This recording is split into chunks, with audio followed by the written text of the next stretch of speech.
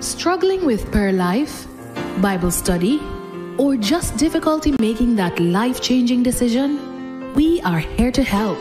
Contact the Footprints Counseling and Prayer teams at the West Jamaica Conference.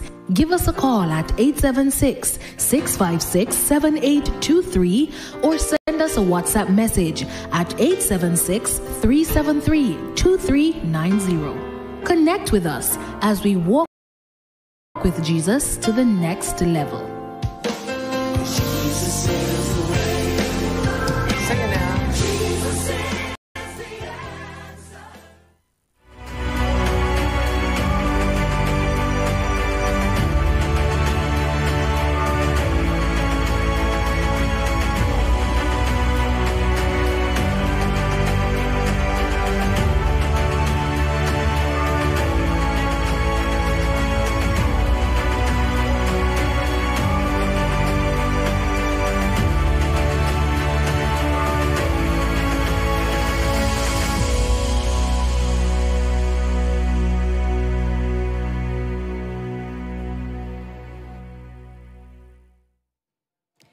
Good evening, good evening, good evening. Welcome to another Wednesday. Of course, it is Wonderful Wednesday right here at the Footprints of Hope 3.0, walking with Jesus to the next level. Indeed, I am your host, Denise Lawson Leslie, alongside Marion Barrett Pop. Oh, yes, oh, yes, oh, yes. And we are off to a wonderful start.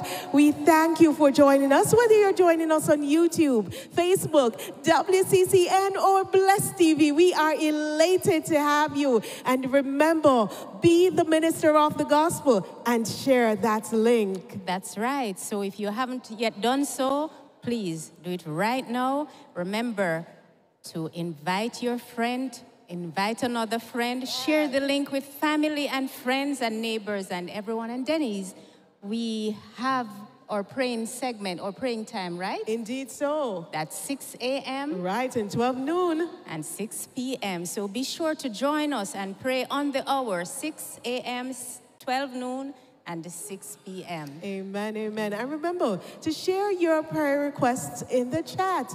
We have our prayer team that is petitioning the throne of God, of God on your behalf. So send those prayer requests in the chat right now. And whether wherever in the world you're joining us from, we thank you for joining us. And we want you to put in the chat the, the place where you're joining us from. And for those in Western, West Jamaica Conference area, that is Hanover. Westmoreland. Of course, St. James. And St. Elizabeth. We are delighted to have you. And where, whether you are in a church building or under the open skies or in a bar, outside a shop like Merle's shop at Sunderland, we are delighted to have you, and we're grateful for those who are providing electricity services oh, for these yes. sites. Oh, yes. Welcome. So. And if you are in the deaf community, we welcome you as well. Most definitely. So without further ado, we're going to now going to be handing you over to our praise team so that you can sing along with us and be blessed. But before we do so, let us pray. Sister That's right. Let's pray. Our Father, we are so grateful for this opportunity to lift your name on high, to share the good news of your soon return. We pray that your Holy Spirit will direct our hearts and direct your truths to hearts so that souls will be drawn to you in commitment and recommitment. Accept the worship we bring now, for we ask it all in Jesus' name. Amen. Amen. Amen. Good night, everyone. As we know, this evening is Wednesday evening, and we are used to having our prayer service on a Wednesday evening. We want to change the dynamics just a little bit. So we invite you to join us as we sing together these wonderful hymns. Sound the battle cry. See the foe is nigh. Raise the standard high for the Lord.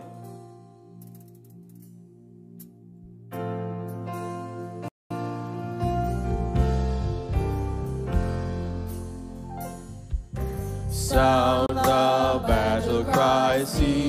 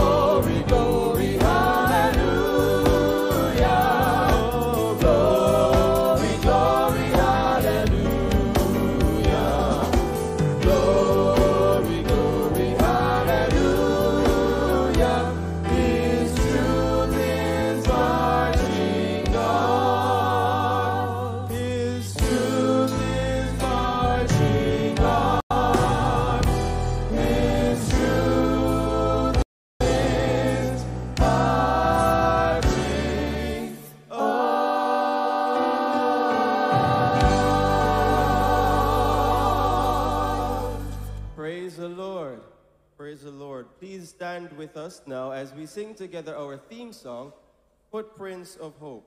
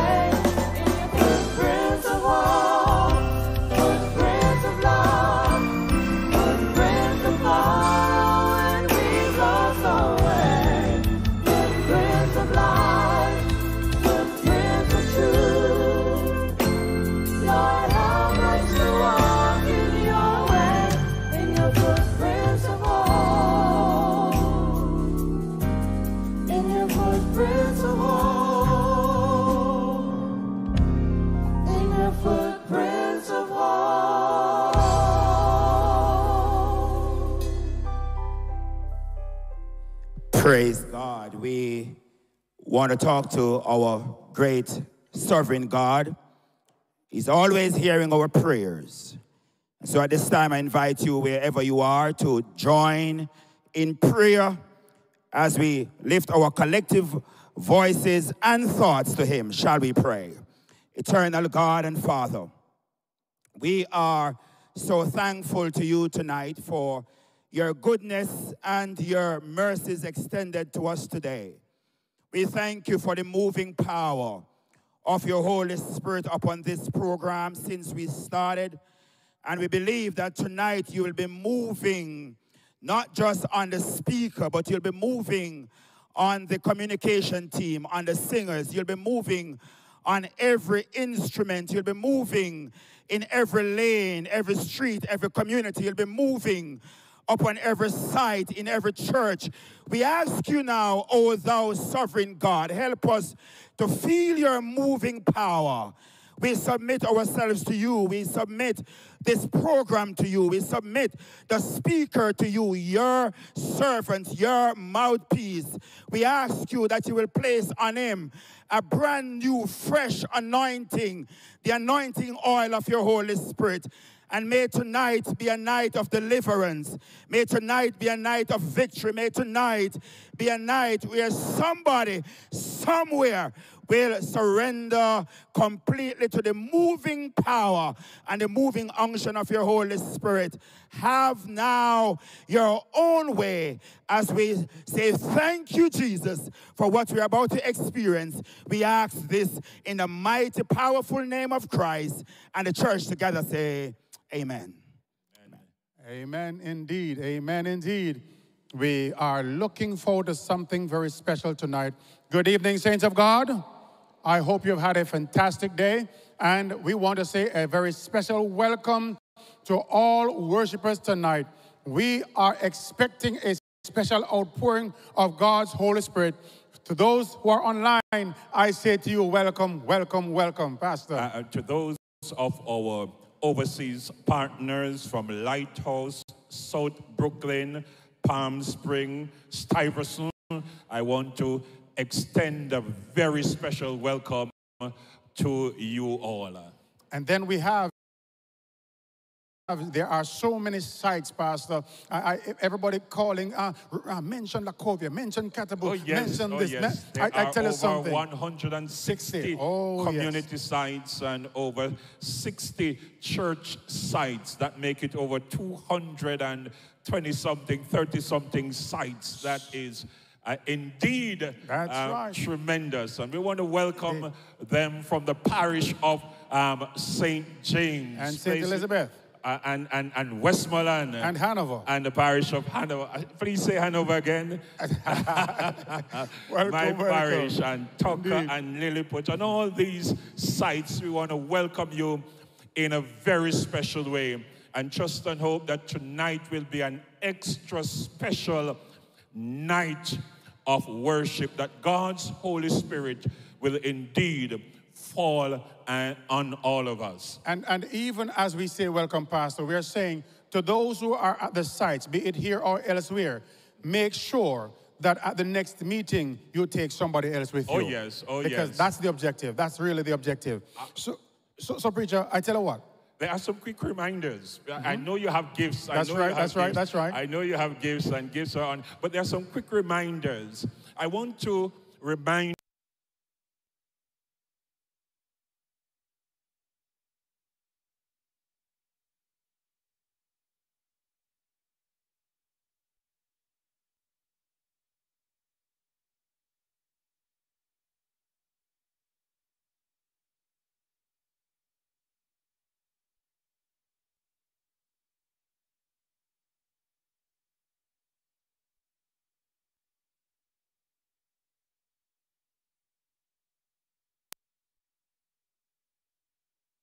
prayer requests.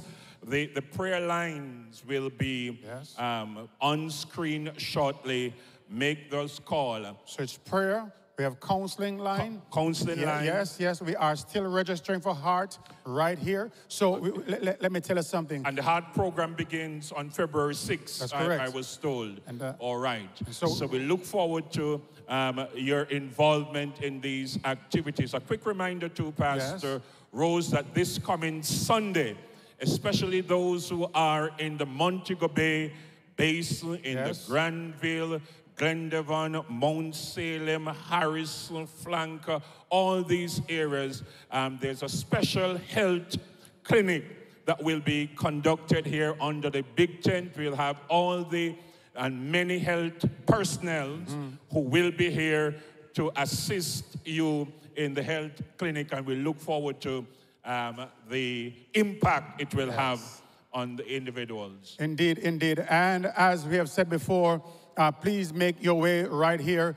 uh, every evening. Uh, the, the bus, there's a bus that leaves from Cornwall Courts. There's one from Glen Glendevon. And I tell you something, we, we want you to serve the Lord.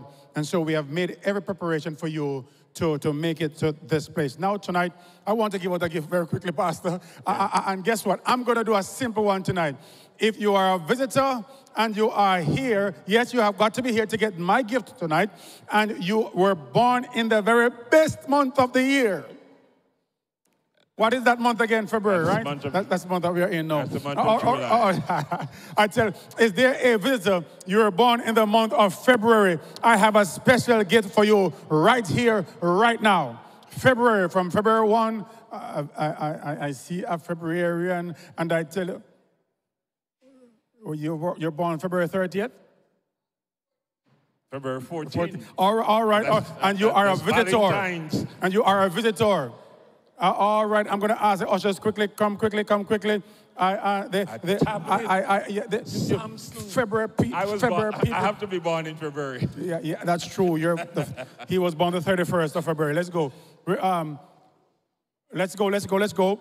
And so let's give them a hand. Let's, um, you, a visitor also, sis? Visitor? All right, all right. And so I am making it very special. Thanks again. See you tomorrow evening when once again we will share with you our very special gifts. God bless you. God bless you. Welcome.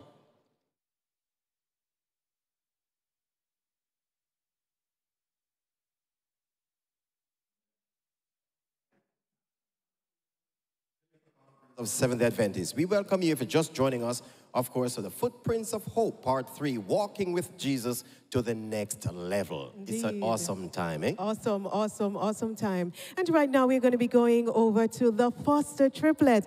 I know that you have been hearing them and they have been blessing your hearts. So once again, they will thrill your soul this evening. Over to the foster triplets.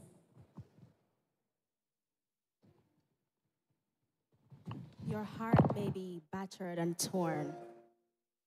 Your circumstance may look dim, but I'm thankful that we have a God that can take care of any circumstance you face.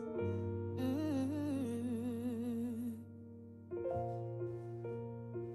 So you're.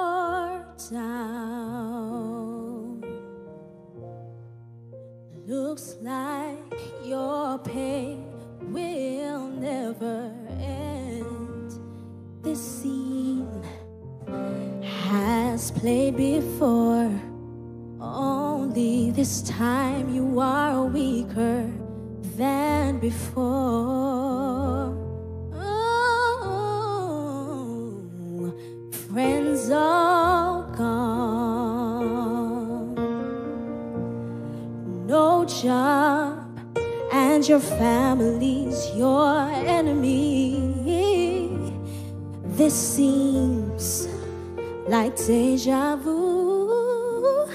Only this time it hurts deeper than before. Don't lose faith.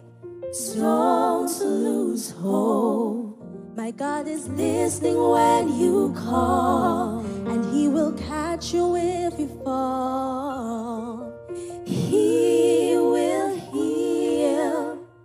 Wipe your tears away. Believe me when I say He will come through for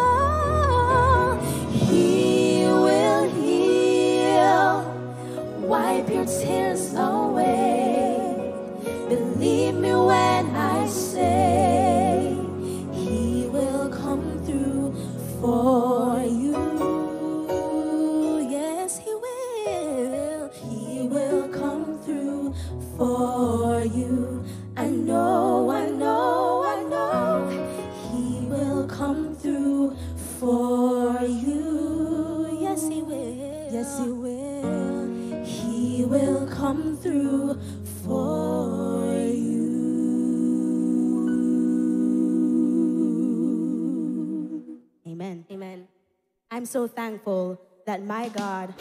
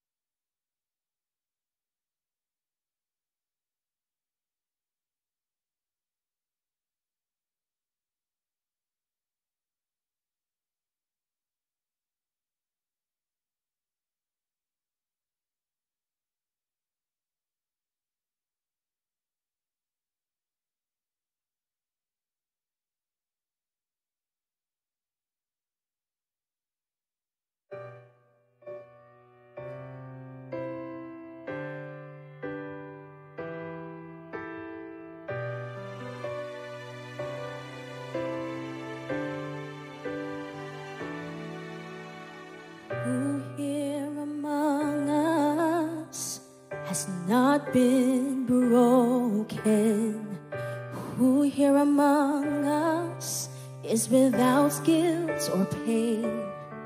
So oft abandoned by or transgressions. If such a thing as grace exists, then grace was made for lives like this.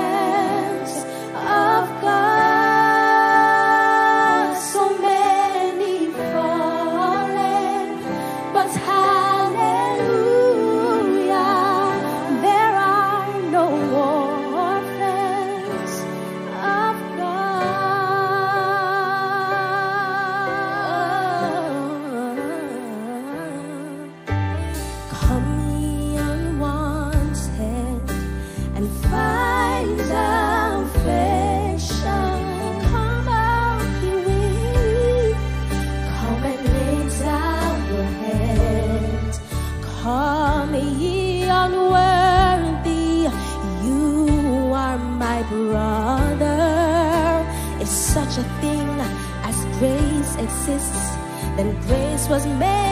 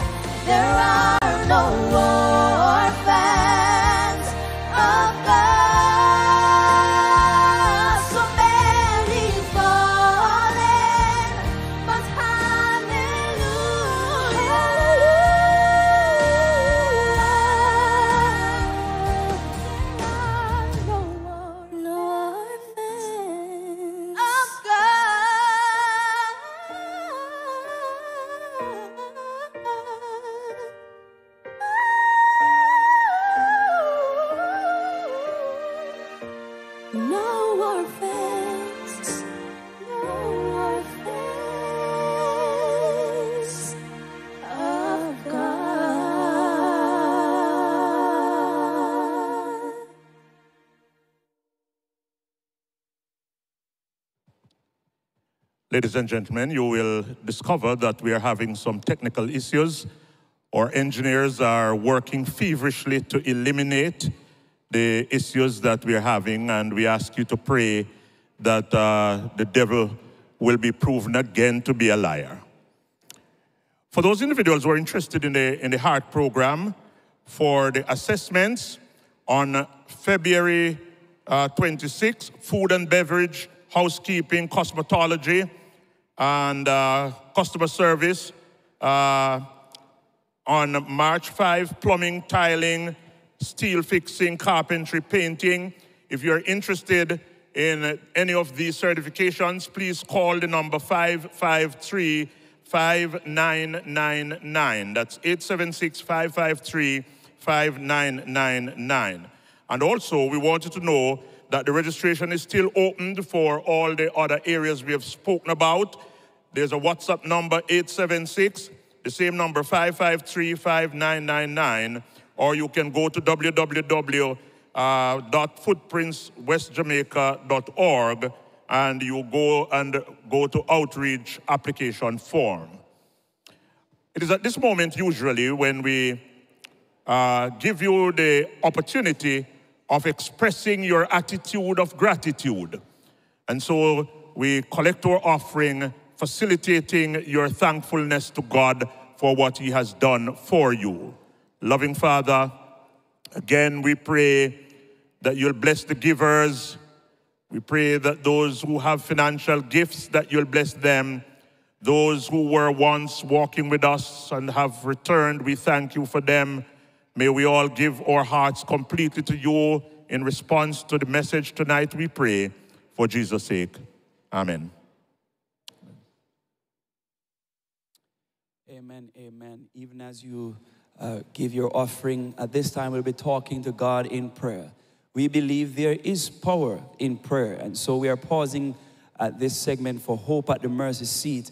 I have with me Sister Carol Smythe James, who will be mentioning a few of the names that are in the chat, a few of the requests that are in the chat, and then we both pray uh, short prayers to lift these up along with the those of you who are watching at the various sites. Sister Smythe James. Thank you very much. Well, I see in the chat, uh, Shari is asking prayer for my daughter, my son, and dad to accept Jesus soon and pray for healing for Ryan and Denise. And Pastor, there are so many in the chat, and I know that as we even think of them, we know that God hears and answers prayer. Amen. And we see that Lorraine Spencer in the prayer, you know, that I will continue to trust God all the time, and also the uh, illness. And we won't be able to mention all possible, but we No, see the request for the family members and friends. Yes, yes. And indeed, we'll continue to pray for them. And Sister West, East, Lynn West, we see the prayer as you ask a prayer for your family as well, that the Lord will give you strength to go through. Amen. All right, let us pray. Father, which art in heaven, we want to thank you for loving us and dying for us. We thank you for all the persons who are here. We thank you for the requests that they have, maybe unspoken ones, those who have written them in the chat. Even with Shari, who is asking for a breakthrough so that son and daughter and father can accept you. Those who are asking for prayer for their siblings, their relatives, I pray that you will do a mighty work. We know that you want to save. And because you want to save everyone, we present them in your hands. There are many who are sick, both spiritually and physically. We thank you that you are the greatest physician. Yes. You are the sympathizing Jesus. I pray that tonight you will put a double portion on Pastor Samuels so that as he preaches the message, it will penetrate hearts so that person can say, Yes, Lord, yes, to your will and to your way. Yes. Continue to be with all of us, we pray. In Jesus' name, amen. And Father, we just pause a little while longer to appreciate your power, to appreciate your presence. We're grateful for the successes that this campaign has met thus far. For those who are coming to the various sites, for those who are providing us electricity from all the different sites across this conference, for those who are putting their requests in the chat. Lord, we are asking that your Holy Spirit will respond to these messages, respond to these heart cries, and that these prayers will come up to your presence as sweet smelling incense. Lift up your children, empower them, extend your mercy and your grace, cover each site under your precious blood, we ask that as individuals surrender their hearts to you, as they listen to your word, that they will secure their connection with you until eternity. Thank you for hearing and answering our prayers. In Jesus' name we pray. Amen. Praise the Lord. Praise the Lord. Well, the word of God says that this gospel of the kingdom shall be preached in all the world for a witness, and then shall the end come. Amen. The moment has arrived for us to hear again the good news of salvation, and God's vessel is ready. And so, ladies and gentlemen, I take this opportunity to introduce to you the president of West Jamaica Conference and the speaker for the Footprints of Hope, part three, Walking with Jesus to the Next Level, Pastor Glen O. Samuels. But before he comes to us, However, before he comes, we will be having the foster triplets as they bless your hearts. And we also want to remind you that we have our VIP room tonight, Alan. Yes, we have our VIP room tonight. So we encourage you to log on as well. So without any other ado, we're going to be uh, passing you over at this time to the foster triplets.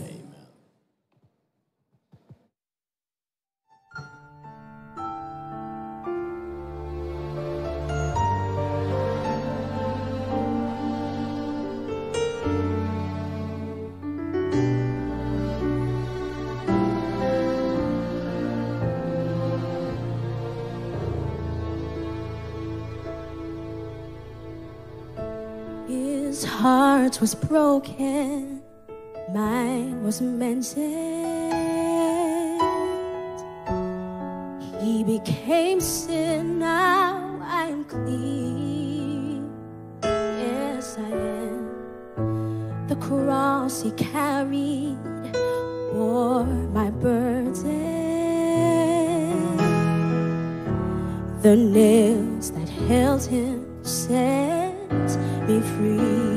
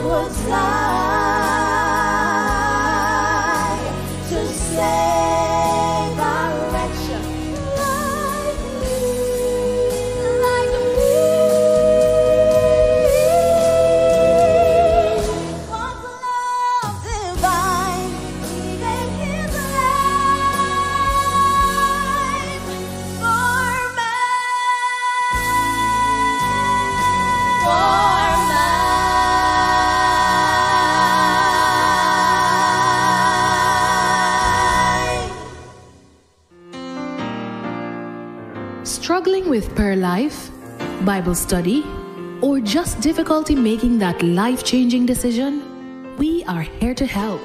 Contact the Footprints Counseling and Prayer Teams at the West Jamaica Conference. Give us a call at 876 656 7823 or send us a WhatsApp message at 876 373 2390. Connect with us as we walk with Jesus to the next level.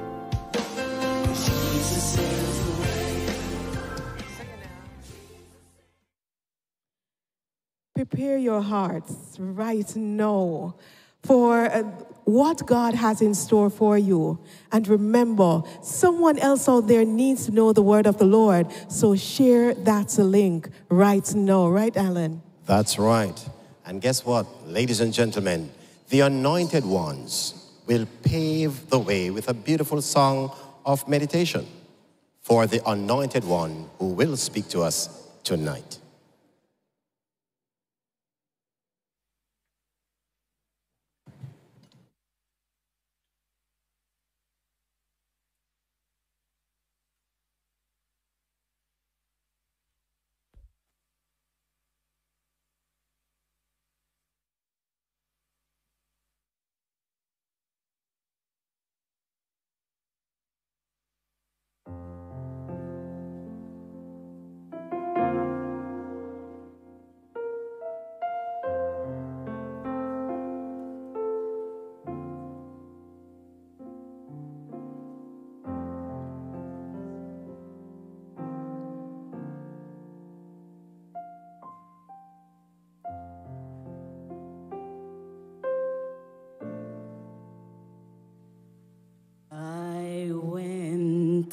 To visit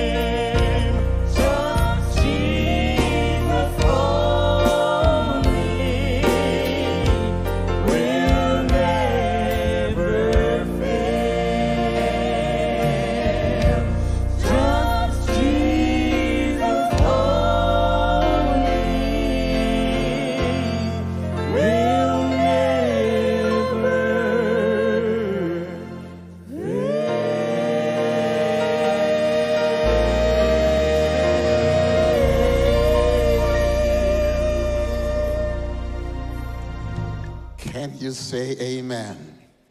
I worship only at the feet of Jesus. Just Jesus only will never fail. Some worship at the shrine of pleasure, some worship at the shrine of material possession, some worship at the shrine of connections with what they deem to be significant. But the only worship that can sustain us in times like these is the worship of the living God. I want to welcome you this evening to another Wednesday evening, the second Wednesday evening of the Footprints 3 series. And I'm going to give you a few moments to look in your own uh, friend circle, check on your uh, Instagram, uh, your WhatsApp, your whatever connecting link you have, wherever you keep your friends. And I'm going to give you a few moments just to check if they are where you are. You are online with me tonight.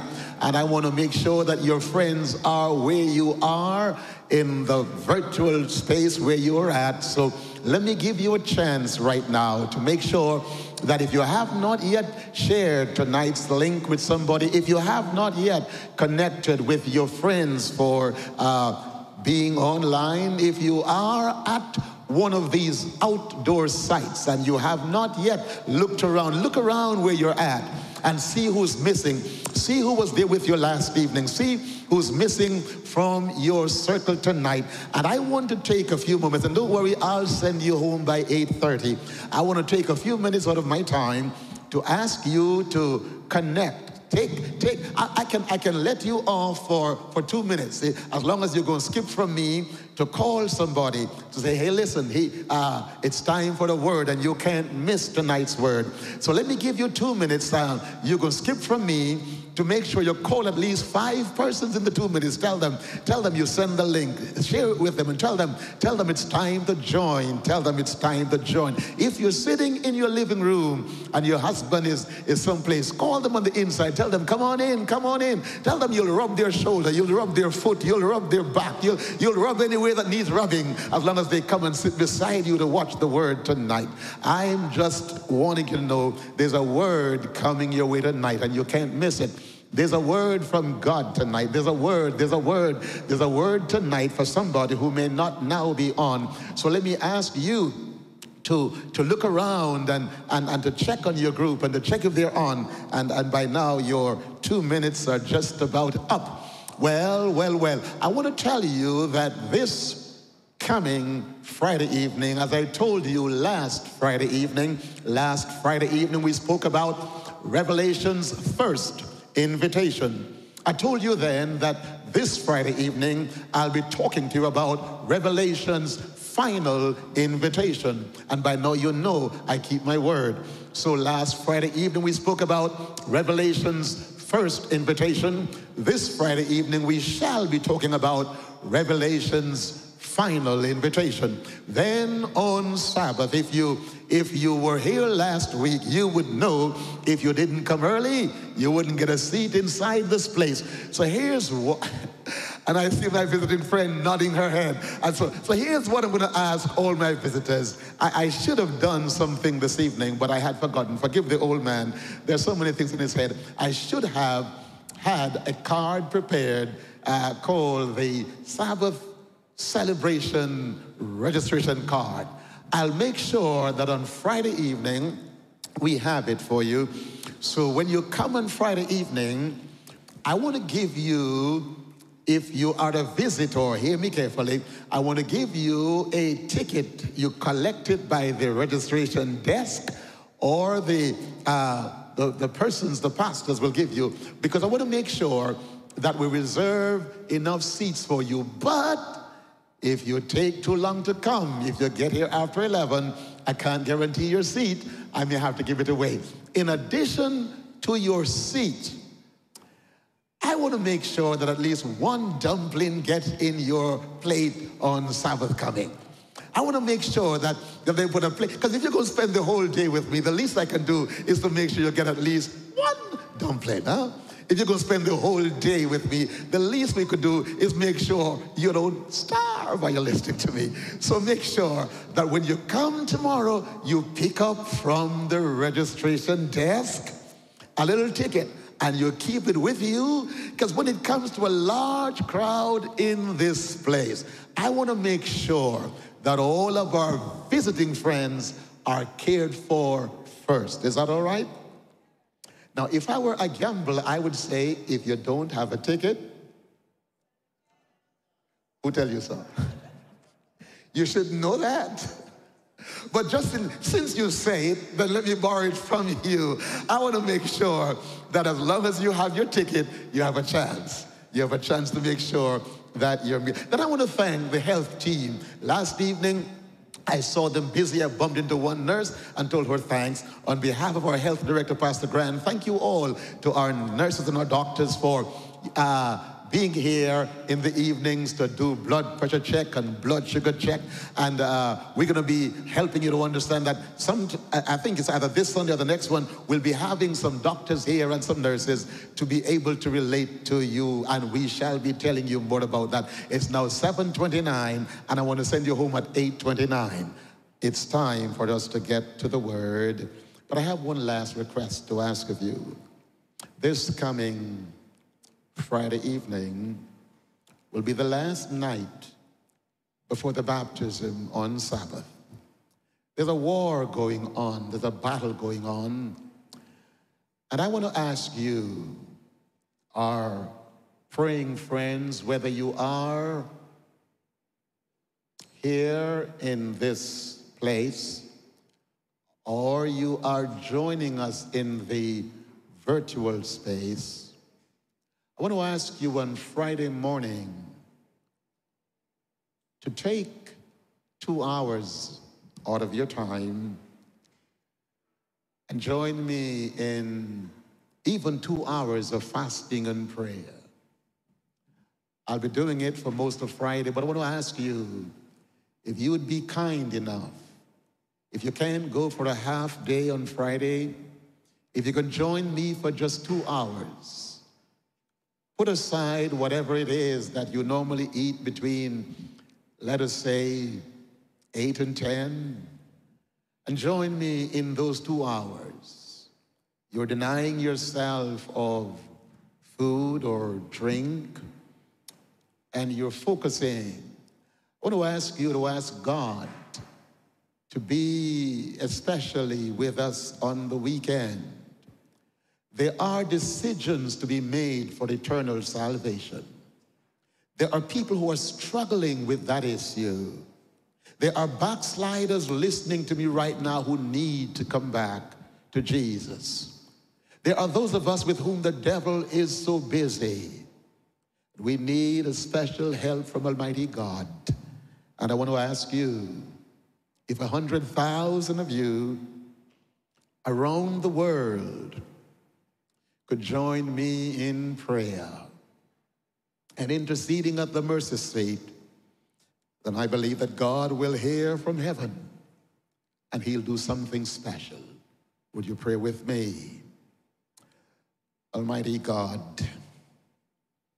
we've come one more time to this meaningful moment. Uh, this moment, God, that needs more than a sinful human being can supply. Uh, this moment needs more than what Isilda's boy can bring to this podium. I'm just a sinful, wretched lump of miserable, mortal clay. I'm just God, one you describe in your own word, whose righteousness is just like filthy rags. I stand tonight and ask and beseech and intercede at the mercy seat that the blood of Jesus Christ will be applied one more time, that the Holy Ghost will visit us in this place, in every site across all of these sites in this country and outside this country, in the Caribbean and across continents and islands. Glorify your name and fulfill your divine purpose in the proclamation of the everlasting gospel. This is our asking. And yea, even more in Jesus' name, and let God's children say, Amen. I have 58 minutes to keep my word to you. Tonight, our subject is Do you hear what I heard? Have you heard? Have you heard? Uh, oftentimes, when, when, when somebody rushed to you with the phrase, Have you heard? It is usually that they're coming with some gossip. And it's not just women who gossip. It's bad enough when they do, but sometimes men, unfortunately, fall prey to that stuff. And so, what, have you heard? And sometimes when you ask, heard what? Ah, it's some juicy stuff that they're sharing. There's a Christmas song that, that I use. It asks the question, do you hear what I hear? Do you hear what I hear? Have you heard? And I know you're asking, what are you talking about, preacher? What are you talking about? It- It's, it's interesting it, a- a- and, and it's important that, that you learn to listen carefully. Sometimes it may not work out in your best interest if you don't listen. History is replete with the bleached bones of men and women, boys and girls who didn't take the time to listen. As a boy, they, they played this game. You may have played it too, where they tie. I don't know if words can travel on strings. Have you ever played the game at school? They get two empty cans, tie a string, uh, and, and they would be talking, and, and they expect you to hear. But the one that's fascinating is, is you line up 20 persons and you whisper something to the one at number one. By the time it gets to person number 20, it's a completely different story. And you wonder where along the middle the conversation changed. You wonder where along the middle that it changes. God is a great communicator. But somewhere in the middle, what he said is not what some persons are hearing. And yet, God can't be faulted because he's made sure that it's written in the word. So I ask you tonight have you heard? I want to cover three points tonight. Number one, have you heard what God is saying? Have you heard what God has said? Number two, if you are hearing, do you understand what God is saying? Number three, if you have heard, if you are hearing, and if you do understand, the third point I want to deal with what are you doing about it? Have you heard what God is saying? Number two, if you're hearing what God is saying, whether you're in church or out of church, do you understand what God has said, what God is saying? Number three, if you hear it, if you understand it, what are you doing about it? And if I have an extra minute before I get to 829, I may make the statement from the word that it is dangerous to hear God and not obey him. If I have the time when I get down there, I'd like to make the point and challenge you in church and out of church to know this. It is dangerous to hear the voice of God and not obey. So we go tonight to the last book of the Bible.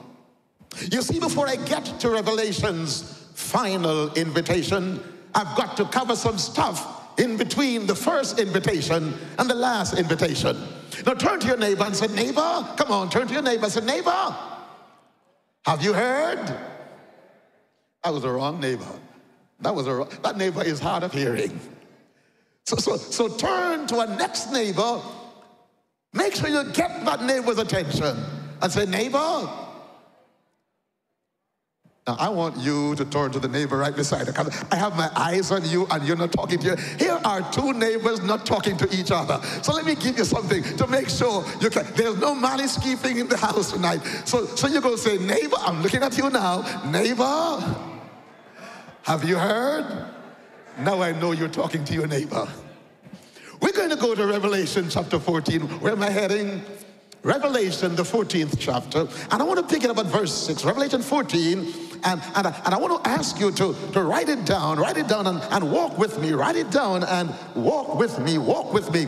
Revelation is the last of the Bible. We're going to the 14th chapter and we want to begin. And it would do the old man's heart a lot of good to hear you read the word with me.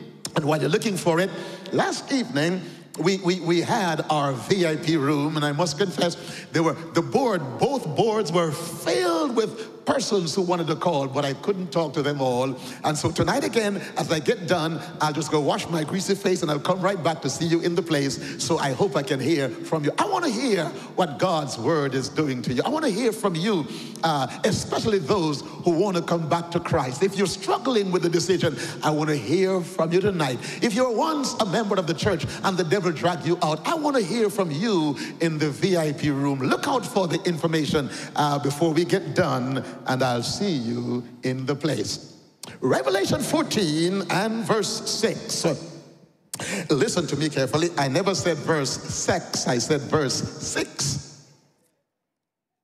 It's important. So this old man went, went to the doctor. What, what, what man I say? Oh, Did I say? No, this old man went to the doctor. He has kidney problems. He has liver problem. He has all kind of problem. He has age problem, and he had a heart murmur. So the doctor said to him, You have a heart murmur, and with all your conditions, be careful. You have a heart murmur, so be careful. It was a young doctor who wasn't a Christian. And so the young doctor went to a party with young people, and guess who he saw at the party? You guessed it right. The old man. And hear me carefully. Not only was he at a young people's party, but he had a young damsel, almost one third his age, on his arm. And the doctor couldn't help it. The doctor walked up to him and said, Man, what you doing here? What happened? He said, Doctor, you told me to get a hot mama and be cheerful. So I got me a hot mama and I'm cheerful. Oh, he may die an uncheerful death. Are you listening to me? So, so I said, Revelation 14, I was just giving you time to find it, don't you know? And verse 6. And I saw another angel fly in the midst of heaven, having the everlasting gospel to preach unto them that dwell on the earth, to every nation and kindred and tongue and people. Could you read it again with me? And I saw an angel flying in the midst of heaven, having the, don't miss that, having the everlasting gospel to preach unto them that dwell on the earth, to every nation, to every kindred, to every tongue, to every people. The next verse said, saying, the angel is saying, uh, the angel is saying, and, and he's saying with a loud voice. I went to a certain country that shall remain nameless to preach in a certain place where they didn't look like me. The only black person in there was my friend and I. And the pastor, knowing his culture, came up to me and he said, the first thing he said, number one, sir, if you're in here until after 12, you may be the only one in here. Number two, here we speak in conversational tones. I don't know what conversational tones mean, but I did try. Having watched him in the beginning, I said, well, if that's what conversational tones mean, well, at least let me try it. But you know me. I can't be anybody else but myself. My head is too big to be anybody else. And so I did try to speak in conversational tones. But after five minutes, something said, I still just, boy, that's not like you. And I heard a voice in my head saying, Cry aloud and spare not. Lift up your voice like a trumpet and show the house of Israel what I ask you to tell them. And I saw an angel flying in the midst of heaven, having the everlasting gospel. Watch the use of the definite demonstrative adjective pointing out the particular nature of the kind of gospel that God wants for this last age. God does not want a sugar coating, friend loving gospel. Listen to me. Yes, I would want you to be my friend, but if telling you the truth gonna make you my enemy, I'd rather be a friend of God. In times like these. We are too close to the second coming of Jesus. And sometimes I've got to preach to me to straighten me out.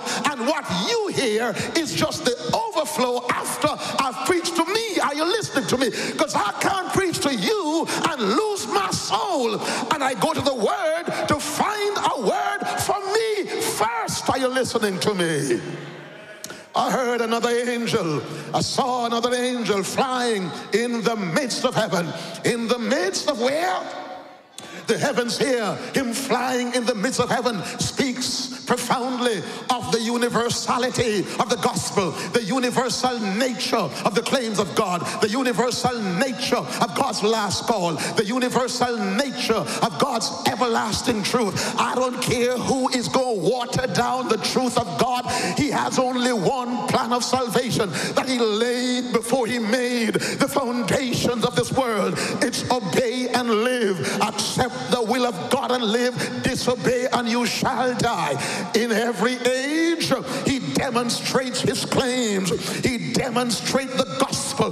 God knows how to fit the gospel to each generation, but he has just one gospel. And the last book of the Bible calls it the everlasting gospel. Can I testify?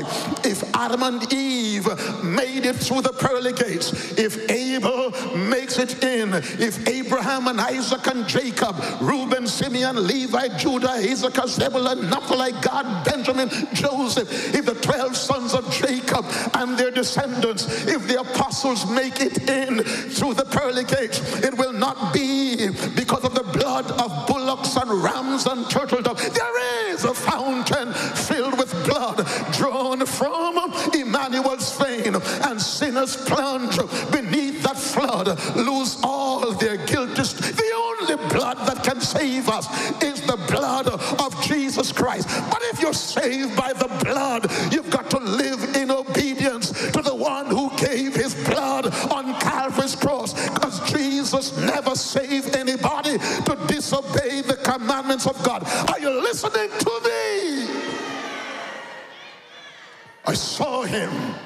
He's flying in the midst of heaven. It speaks of the swiftness. God is in a hurry to get the gospel to every nation, kindred, tongue, and people. God, and I don't understand how some church members can sit on their big fat do nothing when God wants us all to do something. Be a witness for the Lord God. The word of God says, let us not forsake the assembling of ourselves together, especially as you see the day approaching. We are approaching the second coming of Jesus. And he said, Let us not forsake the assembling of ourselves together. Can I tell you that God wrote this long before COVID came, and God knew that COVID would come, but so many of God's children have been afflicted with COVIDitis. I'm going to preach tonight whether you like it, yes or no. There's no salvation in church membership, not even in the remnant church. God is anxious to save a wicked world. There's bloodshed and murder and rape and drug pushing and domestic violence and broken families and broken lives and dashed hopes and broken dreams and twisted lives and young people growing up on the street with no father and no mother and lives drifting aimlessly and millionaires committing suicide because material possession and connections of earthly ties can give us what we need. I saw an angel flying in the midst of heaven, in the midst, in the midst, in the midst of heaven, flying. It speaks of the speed that God wants to get the message of hope to a dying world. It speaks of the centrality of God's concern. And hear me, members of the family of God, your primary concern ought to be God's number one priority. Whatever is uppermost on the mind of God, if you are walking in relationship with God, it has got to be your concern also. I saw, I saw John said, John, John, yes, John. John was there when Roman soldiers fastened his hands and feet with nails. John must have cried when they hung him up on the cross and with shame. And you ought to understand that, that the, the writers and the artists who paint the picture of Christ on the cross, because they can't conceive of Christ being crucified without a single piece of garment, they made sure that the picture they present to you have something wrapped around his mid area. But let me tell you, those Roman soldiers weren't Christians and they saw Jesus as a common criminal. And Josephus said they crucified him without a single piece of garment on his body. Hear the word tonight. John watch that. As a matter of fact, after they buried him, the disciples got so disillusioned. They said, Let's go back to our business. We're going back to our fishing. We're going back to our stuff. We trusted that it would have been He who should have redeemed us, but He died as a common criminal. We are going back to fishing. We are going back to our stuff. We're going back. And even on the day that he was resurrected, he joined two of them as they walked the seven mile journey from Jerusalem to Emmaus, and he's walking with them, and he sees how despondent and dejected and discouraged and drained they were. He sees them as a man being dispossessed, disheveled, and destroyed, bereft of every stuff. And, and he walks with them, and he asks, What are you talking about? And they said to him, We're talking about Jesus, the one we thought was our Redeemer. We're talking about Jesus, the one who healed the sick and raised the dead and gave sight to the blind and gave speech to the dumb. The one, the one, the one, the one. And they recited all the things that Jesus did. But hear them, hear them. We trusted that he would have been the one who should have been our Redeemer. But now he's dead. Our hope is dead. Know what he said to them? He said, Oh, fools and slow of heart to believe, to believe, to believe. Have you heard? Do you believe it? Have you heard? Yes, they heard it. Oh, fools and slow of heart to believe, to believe. And when he opened their eyes, the, the King James said, they ran back to Jerusalem. You can't keep still when, when, when your hope has been rekindled. So John, John watched not just his Savior died, but he watched him ascended. His hope was reborn. John watched the gospel, and John watched all the disciples being martyred. Thomas had his brains bashed in. Matthew died, plunged through with it. And he watched it, and he watched, and he was the only one left. And when they put him in a pot of boil, let me tell you something. Anything frightened God picnic, kill call. And if you ask before the paraphrase version, God's children, not afraid, afraid, and they're not dead easy. And if God don't want me dead, ain't no power in hell that can kill me.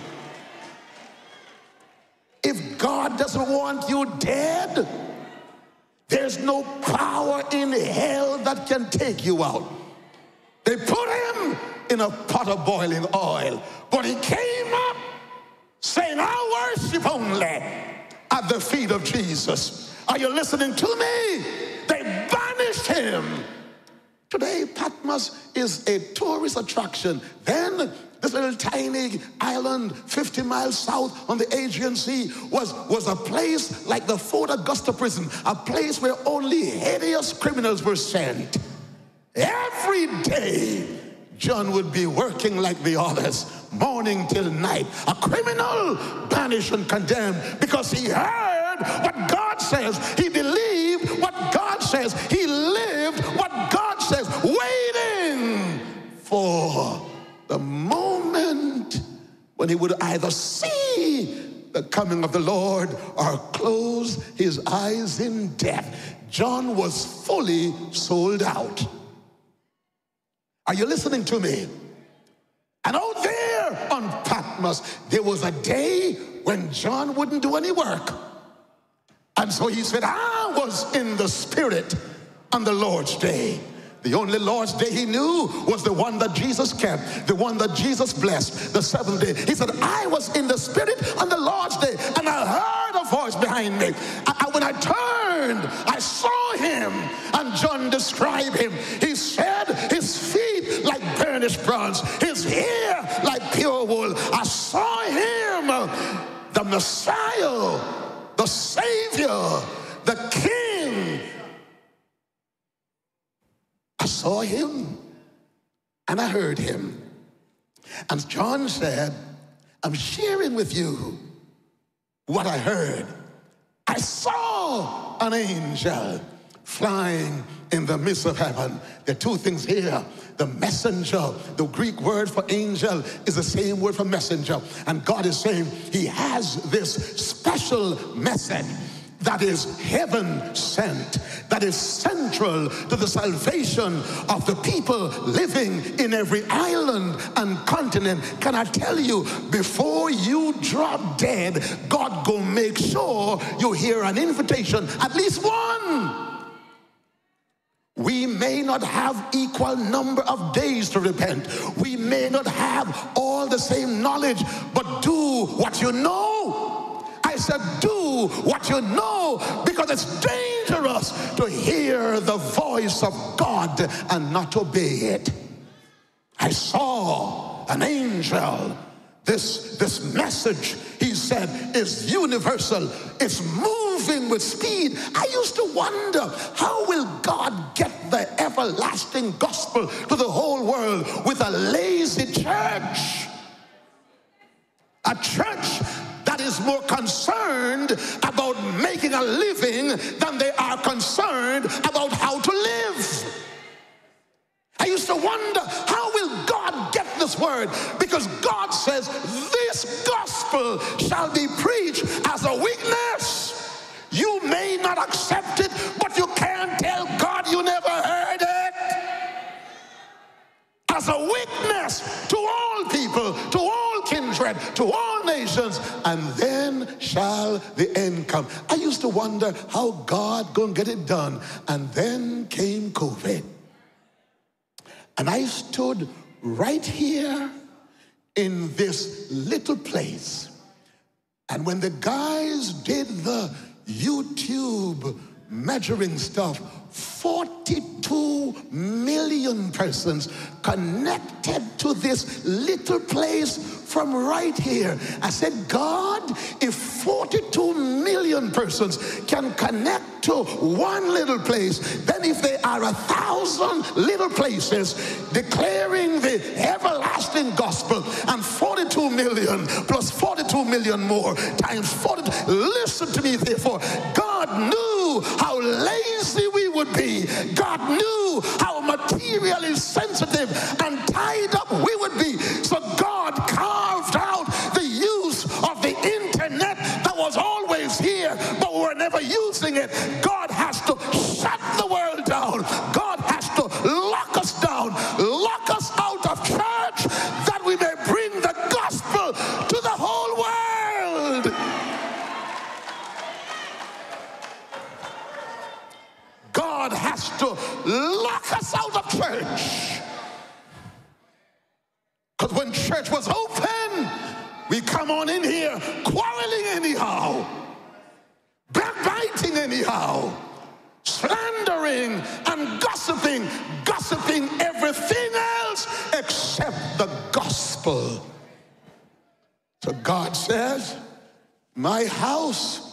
was a house of prayer and worship, but you've made it a den of confusion and quarrel. and you come on in showing off your suit and your shoes and your hat and your dress and you can't shout hallelujah because you're going to mess up your hairstyle. You're too cute to clap. You're too sanctified to shout. You're too holy to holler. So God says, I'm going to lock down the church and lock you out of church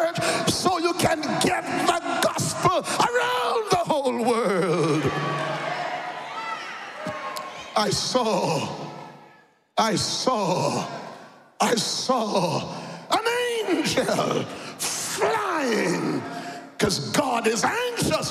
Hear me, backslider. God is anxious to save you. Flying in the midst of heaven. Hear me, Reverend. Hear me, Bishop. God is anxious to get the gospel into your hard head. Saw an angel flying in the midst of heaven. It speaks of the universality of the gospel, the universality of the claims of God, the universality of the call to obedience, the universality of the call to repent, the universality of the call to surrender, the universality of the call to obey the commandments of God, the universality of the call to come back to the Bible. And he calls it the. He never said a gospel. If it's just a gospel, then any old thing can do. If I say to you, there are 14 pairs of shoes out there, bring me the black one. It means I have a particular shoe in mind. Are you listening to me? Well, God's gospel is a peculiar gospel.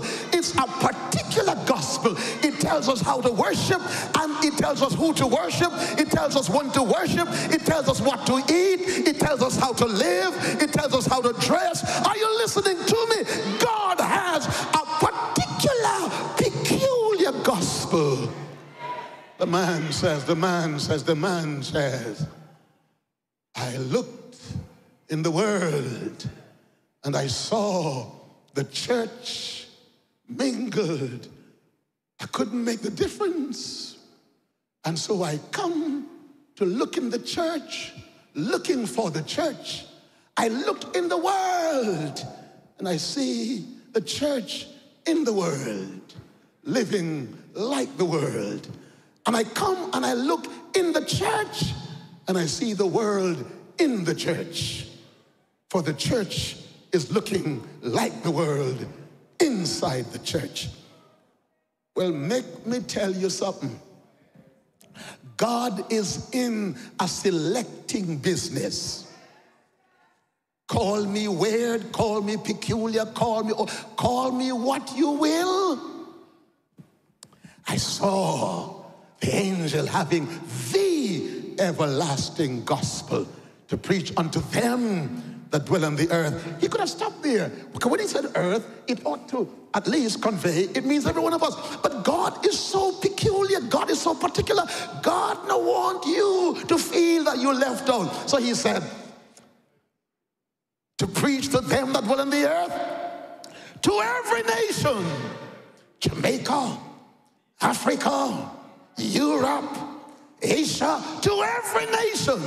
And just in case you think that you're in the nation, but somehow it doesn't belong to you, he said, to every kindred, to every culture, to every people. Now, I know there are some peculiar cultural stuff, but let me tell you something. I can, in Jamaica, tell them, say, now, now let me say it this way. I went down to a hotel to do a wedding for a friend of mine. So the wedding was supposed to be three o'clock, and I'm there. They told me where to go. I said the folk gathered, and then it's, it's a hotel that has, well, I don't want to call the hotel's name. So I got right in the place. I had the documents from, from the Ministry of Justice, and, and I had the documents that they have, and I'm standing there waiting for the folk to come. And some folk are standing there, and it was three o'clock, and I'm out in the sun. If you think I'm sweating now, you, you should have seen me then. And then I couldn't wait any longer. So I walked up. I said, Where is the groom? And they said, We're waiting on you to start. And then he said, Sir, I'm right here. You know what threw me off? All the persons before me have on blouse and skirt. And I'm cursing bad words. They have on skirts and blouse. I'm standing there. They are Scottish people. They're in their Scottish attire, in their plaid skirt, in their cultural stuff. They all look alike, and I'm standing there using my Jamaican culture to impose on them. But me not gonna wear any plaid skirt come a church because God gonna deal with the Scottish man based on his culture. Are you listening to me? When he writes up the judgment, the word of God says, he will say, This man was born here and that man was born there. God takes a note of what you hear, what you know, where you live, the stuff you have, and God speaks to you where you are. Have you heard? Do you hear what I hear? John said, I heard. One, John, what did you hear? He says, I hear a loud voice. He's saying with a loud voice, Fear God, give glory to Him, for the hour of His judgment is come. And worship Him. Well, John, Him who? The one who made the heavens and the earth, the sea, and the fountains of waters. And outside of Revelation, the first place you find almost those identical words was when God Almighty Himself got up from the throne of glory and He came down on Mount Sinai and He said, I am the Lord God. Thou shalt have no other God apart from me. Don't make unto yourself any graven images. Worship only the one who is is sovereign creator, the one who made the heavens and the earth and the sea and the fountains of water. Where did he say it? He said it in the fourth commandment. Here is John. John is writing in the last book of the Bible, and John said, I heard it. It's a part of heaven's last message. It says, Fear God and give glory to Him. And if you wonder which Him, then listen. Do you hear what I heard? Have you heard it? It said, The only one you must worship. The only one you must give your full allegiance to. The only one who deserves your total allegiance is the God who made the heavens and the earth, the sea, and the fountains of waters, the sovereign creator. Listen to me. Anyone or anything that becomes nearer and dearer to you than God, that thing becomes your God. Why do you think I asked the anointed ones to sing for me? I worship only at the feet of Jesus. The only Savior I know is Jesus Christ, the Son of the living God. And John said, without him was not anything made that was made. And so, have you heard what God has said? Have you heard what God is saying? And if you're hearing it, my next question is do you understand what God is saying to you? Do you understand what you're hearing? John said, I heard in a loud voice. He's flying, he's moving swiftly, he's anxious to cover the islands of the Caribbean, the islands of the sea, the continent. He's anxious to cover north, south, east, and west. He is crying with a loud voice because some of us are hard of hearing. Some of us are so materialistically connected that God has to stand upside down to get us to listen. Have you heard? Do you hear what God has said?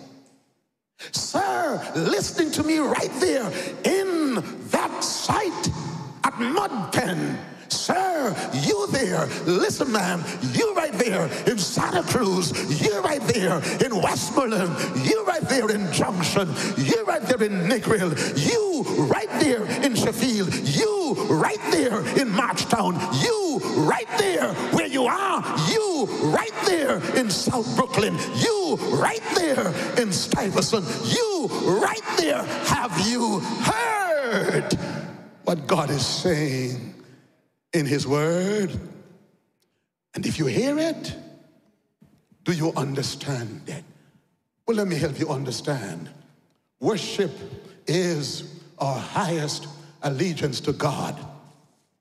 Worship belongs only to the sovereign God who creates the heavens and the earth, the sea and the fountain of water. It means whatever he says to you ought to take precedence and priority above and beyond everything else. It means when God calls you, you ought not to delay, you ought not to dilly dally. It means if He is sovereign creator, He can fix whatever is wrong in your life. Do you understand it? Do you understand it? That you ought not to allow anything you fear to displace the claims of God. Hear me, young man. Do you hear what God's saying to you? Do you understand the urgency? I wish I had time to get into the second part of this, this message because it speaks of the issue of religious plurality. It speaks of the issue of religious confusion. It speaks of the issue. And let me run there quickly and take five. It says, they're followed another angel saying, Now it's interesting that the both message, John says he is saying something. He is saying something. He's moving swiftly, but he is saying something. He's saying something to you. He's saying something to you, and he's saying it with a loud voice. And when God screams at us, he's desperate and trying to get our attention. And there followed another angel saying, Babylon is fallen, it's fallen. By the way, when John was writing, the ancient city of Babylon had long since fallen. Remember, I talked, I walked you through history. Babylon was the first kingdom. It fell, then came Media Persia. That fell, then came Greece. That fell, then came Rome. So John was writing at the time when the final kingdom is ruling the world. What does he mean then by the phrase, Babylon is fallen? He uses Babylon as a code name. And we still do that. What do you call the police? Same thing they know. By the way, you know, by the way, uh, uh, this minibus was going from to Kingston from Westmoreland. Pastor Simeon Essen was, was sitting in the front seat, and, and uh, so there's, there's a police officer who the driver picked up, and, and maybe that was the only reason he could have two persons in the front seat with him. So, so Es- Essen is in the middle seat, and the policeman is at the window, and the driver is at the other window. You know, drivers have a way. I never flash my light to tell anybody when a policeman or, or, or a roadblock. I used to do it, but I stopped. You know, one day I'm coming out from the airport. I turn on Leaders Avenue, and somebody flashed me. I'm coming right up to Davis Avenue, and somebody flashed the light. And I heard behind me, "Eh!" there was a car behind me, dark glasses. You know those dark glasses, not just at the windows, but even at the front. And there's a law that says that I think they, there ought to be at least 18 clear inches between your dark tint at the top and at the bottom. Well, he just have a peephole and he drew brakes, spun around, and headed in the other direction. I said to myself, if you never have something to hide, you wouldn't draw a break suddenly. And it means that maybe you have a gun and they warn you, and you may take the life of the very person. Who, so I don't, I'd rather help you pay the ticket or come to prison and visit you with breakfast with dumpling and ackee and saltfish. So, so, so, so the, the, the bus is on its way, and, and, and minibus drivers, when there's a roadblock, a road check, they're lighting each other. And, and he, he flicked the light and slowed and said, Babylon up there, sir. Driver said, thank you, man. Here comes the next one. Babylon down there. Thank you, man. Here comes the next one. Babylon down there. Thank you, man. And so the driver now started to make sure that all the passengers, if they have anything to hide and stuff like that, and when the fourth one comes up and say, Babylon up there, the policeman took out his badge and said to the driver, one in here too, you know.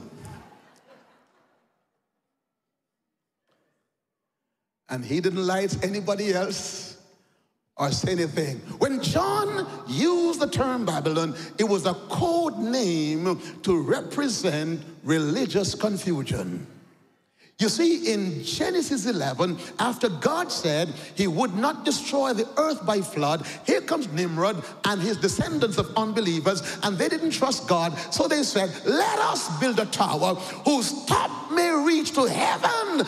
You know what it means? They were doing salvation by human effort. They mean just in case we hear what God says, we hear God say there shall be no more flood, but we can't trust him. Let's build us a tower. Let's let's let's work out our own salvation. Let's build our own truth. Let's build our own doctrine. Let's build our own defense. You can build a defense against God. And God comes down and confounded their language. And the Tower of Babel, symbols, confusion. He scattered them across the earth. And John uses the terminology to represent religious confusion. There's so many churches, and we claim to have the same Bible. There's so many denominations, and we claim to follow the same Bible, all because we do not hear what God is saying. Have you heard what God says? He said, The only God you must worship is the one who made the heavens, the earth, the sea, and the fountains of waters. Have you heard? And if you hear, do you understand? It means that if God could create the world from nothing, when you have to obey Him, whatever you've got to sacrifice and let go, He who made the world from nothing can make something beautiful of your nothingness. Do you understand the call? Do you understand the word of God? He says, Fear God and give glory to Him, worship Him, because the hour of His judgment is come. And I close my Bible. There's a card in my hand tonight that they should have used earlier, but I'm going to use it right now. And I'm going to ask the ushers to put a card in every man's hand tonight. It's called the prayer circle card. They should have used it earlier. And I think every site has a copy. Have you heard? Do you hear? Do you hear what God is saying? He's saying the hour of his judgment, investigative judgment, the pre advent judgment is circling the globe, is, is actively involved, and God is anxious. A message circling the earth and circling the globe and going to every nation, kindred, tongue, and people. Do you hear? And if you hear, Have you heard? And if you heard it, do you understand? And if you understand it, my question tonight, what are you doing about it? Son, take me down to Jeremiah chapter 7.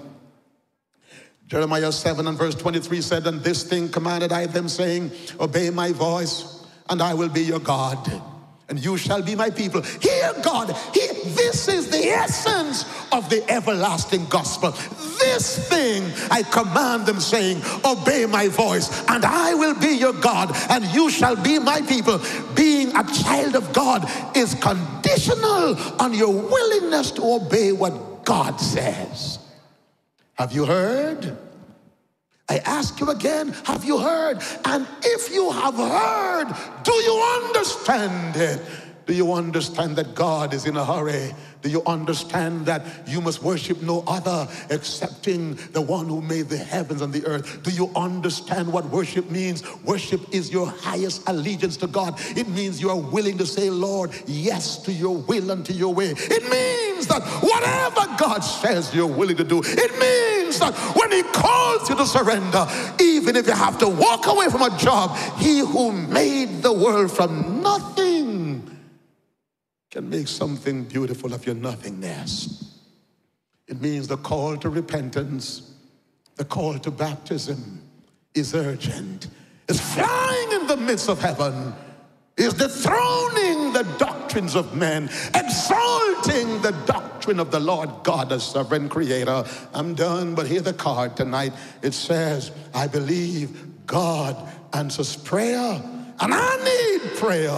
And there are four areas there. I'm going to read them for you. I'm going to read them for you. Borrow a pen, borrow a pencil, get something. It says, number one, my family needs. There are four areas, four broad areas, and under each area, there are some statements. Number one, I'm having relationship challenges. If you're having a family breakdown, if you lose your parents and you lose your children and you lose your husband and you lose your wife, for God's sake, don't lose your soul. I'm having relationship challenges. I'm having marital problems. I'm having parental challenges. She sings softly, whatever it is, put a mark there, put an X there. If you don't have a pen, hold up your hand and, and they'll get one to you. And I'm going to make sure the next time we hand you a card, we hand you a pen, we hand you a pencil, we hand you something you can use to write. There are hands being held up. I'm going to ask you to lend them a pen, lend them something they can use to write. The next statement, the next statement. I need prayer because I have some spiritual needs. There are three statements under this one. It says, I need to repent and be baptized. Pray for me. I need to repent. With the everlasting gospel going to the ends of the earth, I need to repent. With the urgency of the word of God flying in the midst of heaven, I need to repent. With the angels saying with a loud voice, I've heard it, I understand it, I sense the urgency with it. I need to repent and be baptized. The second statement under my spiritual need says, I'm a Christian, but need a closer walk with God. I want to go to the next level. I'm a Christian, but I need a closer walk with God going to the next level. You want to put a mark there. You want to put an X there. The third one says, the third one says, I'm a backslider. I'm a backslider. And I need to recommit my life to Jesus in rebaptism. There's a card on your screen. Scan that QR code. Scan that QR code. Scan that quick response code. There is, there is a decision card there.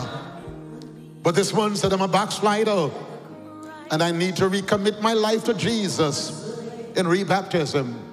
If you've wandered from the church, come on back.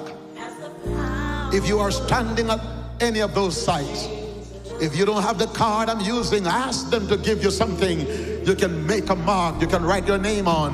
But tonight, an urgency. Tonight, an urgency. attached to the gospel. Take the card tonight. Fill the card out. Fill the card out. In the name of Jesus. Fill the card out. Fill the card out. With an angel. With a message. The last message. Flying in the midst of heaven. Is the everlasting gospel. The same gospel that God gave. Fear God. Eve responded to the serpent and put the words of the serpent above the words of God. But the Lord God comes to you and you and you and he comes to me. He said, listen, it's time to put God first in your life. Whatever he says to you, do it, do it now, do it now, do it now. This weekend, this weekend is your baptism. This weekend is your baptism. This weekend is the time to change your life. Fear God. Fear God. Fear God. Put him first. Obey what he says. Do you understand it? Then I tell you, it's dangerous to hear it or not obey. I go back to Jeremiah chapter 7, and I'm done on this one. Jeremiah chapter 7. Let me read, let me read for you. Come on, son, work with me. Jeremiah, the seventh chapter, the seventh chapter. And we began reading verse 23. I'm going to go to verse 24. Well, let me go to my own Bible. Jeremiah 7, 23, 24. I'm going to my own Bible. I'm going to my own Bible. Hear the word of God tonight. Hear the word, hear the word. Hear the word of the living God. I'm in, I'm looking for the seventh chapter of the book of Jeremiah. I got to read to you. Hear what he says. Hear what he says. This thing I command them, saying, Obey my voice, and I will be your God. And you shall be my people. What is the condition? And he said, Obey my voice, I will be your God, and you shall be my people. Walk, watch this now, walk in all of the ways that I command you, not in some of the commandments, but in all of the ways. Look at verse 24. But they didn't listen, they didn't obey. They walked in the counsels and in the imagination of their own heart. Look at verse 27. Therefore, thou shalt speak all these words to them, but they will not hear you, they will not listen. Verse 28. But thou shalt say, This is a nation that obeyeth not the voice of God. Truth is perished and is cut off from their mouth. I wish I could go to the end. Well, I still have two minutes. Revelation chapter 14. You know what the verses between what I read and the end of the chapter says? There are two feasts. There are two reaping. The first one, he said, I'm going to go read it for you. The first one, he said, I heard a voice comes out of the temple. I saw one sitting on the cloud. And the voice said, Thrust in your sickle and reap the harvest of the earth. Sin has reached its zenith. Thrust in your sickle. The gospel has been carried to the ends of the earth. Thrust in your sickle. And he that sat on the cloud, Revelation 14, 16, thrust in his sickle on the earth, and the earth was reaped. The earth was reaped. The grapes for the kingdom. But it's not done. And another angel came out from the temple. He had power over fire. He cried aloud to him with a sharp sickle Thrust in thy sharp sickle, gather the clusters of the vine. The angel thrust in his sickle, gathered the vine of the earth, cast it in the great wine press of the wrath of God. And the wine press was trodden without the city, and blood came out of the wine press up to the horse's bridle. John uses a description that his hearers could understand. He said, When God's wrath is through, I see blood covering the earth.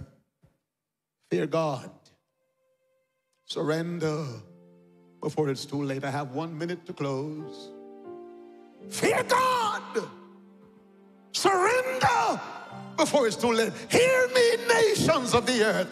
Hear me from this platform. It's not what your pastor says. It's not what the bishop says. It's not what the reverend says. It's not what Glen Samuel says. It's what the Lord God says in the Bible. Have you heard it? Do you understand it? What are you doing about it? It's dangerous to hear God and disobey. I'm done. It's 829. Would you stand with me while we pray? Would you stand with me? If you filled out the cards, turn them in. Turn them in. It's 829. This coming Saturday, this weekend, is your baptism. Backslider, come on back. You who have never surrendered your heart to Jesus, come on back. Let us pray. Almighty God, we've heard your voice, Lord Jesus. And the obedient ones, our hearts are responding tonight. We pledge you our allegiance to your cause, to your will. We pray that you'll help us to surrender our all. When the kingdoms of this world shall become your kingdom, because we have heard the everlasting gospel, because we understand, God, that you are the only one whom we must worship, the one who made the heaven and the earth, the one who say, obey and live, disobey and die. We come tonight. We ask for mercy and grace. We pray, God, for every backslider who needs to come back. We pray, God, for every honest heart who need to make that decision tonight for baptism this weekend. Have your own way, we pray. In Jesus' name. Oh, may the grace of Almighty God be with you. But it's 8:30 and I'm done. I'll see you on Friday night. There's be no meeting tomorrow night.